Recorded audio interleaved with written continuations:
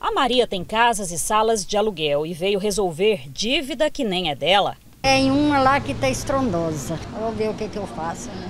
Porque está até vazia, não, até tirou o povo, que não estava pagando nada, né?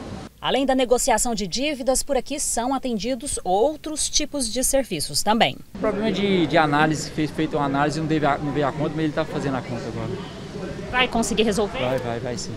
Os quatro guichês de atendimento são instalados no estacionamento do shopping da rodoviária de Goiânia. O atendimento vai das 9 da manhã às 5 horas da tarde, de segunda a sábado. É bom porque pôs um posto bem pertinho da minha casa, né? Fácil para vir aqui. Fica fácil o acesso evita a gente estar tá indo na, nas unidades, que é, é bem movimentado. Eu estava passando aqui, tinha que resolver esse problema já entrei. No estande de negociação da Enel também tem uma maquete de geladeira. É que o eletrodoméstico pode estar sendo o responsável por aumentar e muito o consumo total no final do mês. Não colocar a geladeira muito próximo da parede, um pouco mais distante é, do fogão.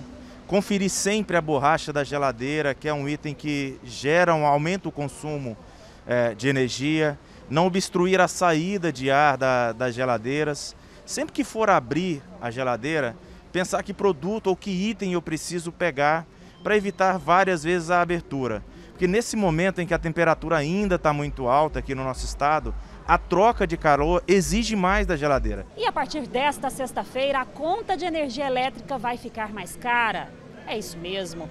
Em relação ao mês passado, o consumidor vai sentir um aumento para a conta deste mês de pouco mais de 16%. Mas se formos analisar em relação à conta de outubro do ano passado para a deste ano, o aumento vai chegar à marca assustadora de 40%. Essa energia que chega aos clientes aqui em Goiás, ela é gerada em uma geradora.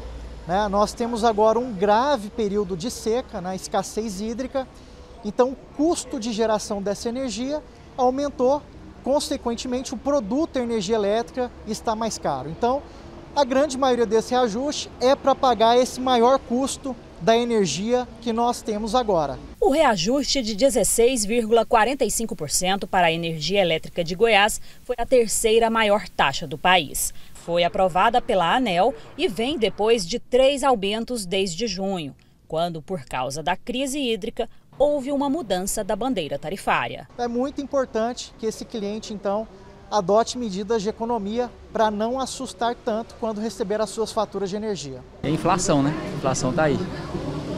E o bolso está sentindo. Está sem dinheiro.